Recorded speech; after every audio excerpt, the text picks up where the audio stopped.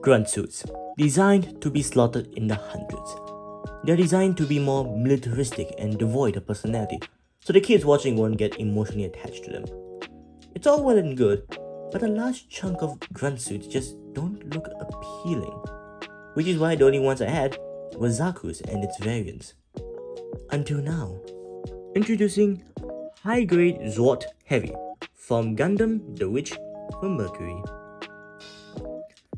If it's not already obvious, the design of all suits made by the Pale Corporation, Wataru Nata, had done work in the Armored Core series, which is why this guy and the Farrick, I think that's how you pronounce it, look similar to mechs found in the AC franchise. It's great for me as those designs are awesome. Another interesting thing is that their limbs are similar in design.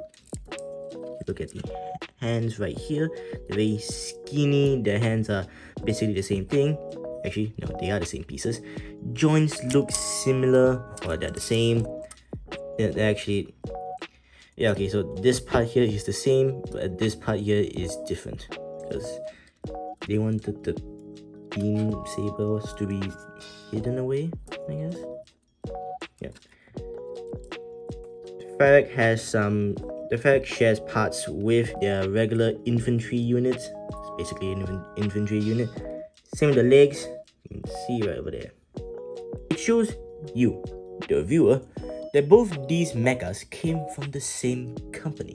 It's a great detail and makes sense in universe. It's what a lot of modern day car companies do in real life as well. Also, if I'm remembering correctly, the last time we had a Gundam anime with more than two factions with their own unique looking mechas was Double O.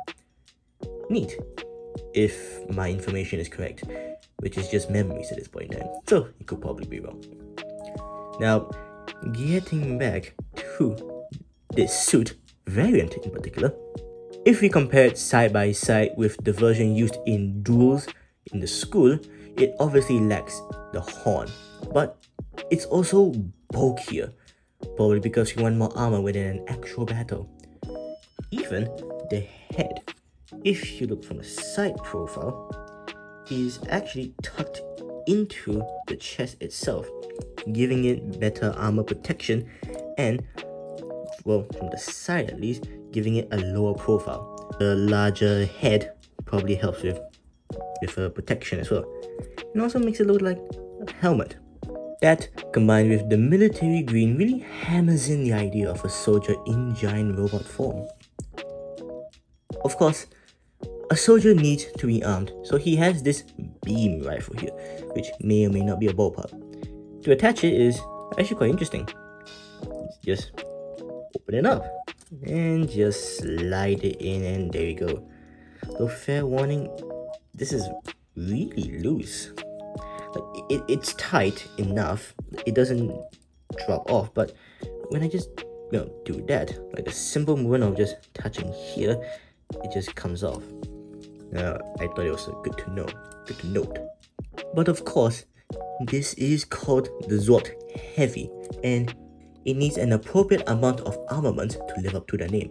And so, missile pods right over here, and this beam cannon, which I think is a beam cannon, allows this mobile suit to dish out suppressing artillery fire, making sure the enemy won't get close. Because apparently Pale Corporation advises its pilots against close combat. Interesting. However, that doesn't necessarily mean it has a lack of CQC options, because, as already mentioned, beam sabers attached at the back of the arms allows for a quicker transition from the gun to the blade. Oh, and uh, before I forget, you can actually switch this mag out right here for this one right here. Now, I know what you're saying. Mate, it doesn't look different at all. Well, it's actually thicker. Reason being is because this magazine right here on the gun is actually detachable. Then you can put it in right here. Nice. Although I think it sticks out a bit too much, so I would just go with the default option. Looks nicer that way. And finally, posability. It has almost the same amount of articulation as the Schwarzette, right here. You can only see the legs, but yeah. But with less outward arm and leg movements. It is still quite good, but compared to the Angel Demon robot, it's worse off.